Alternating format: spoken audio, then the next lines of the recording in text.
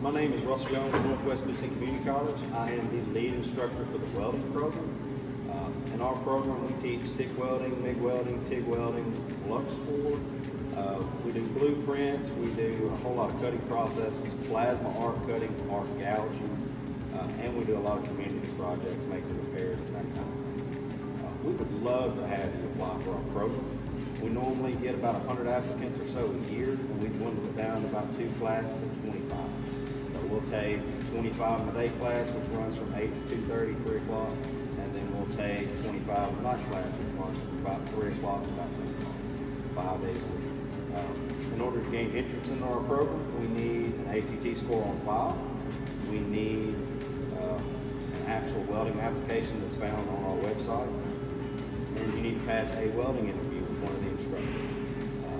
order to get into any CTE program, we need to have a clean drug screen before you begin classes. Thank y'all so much.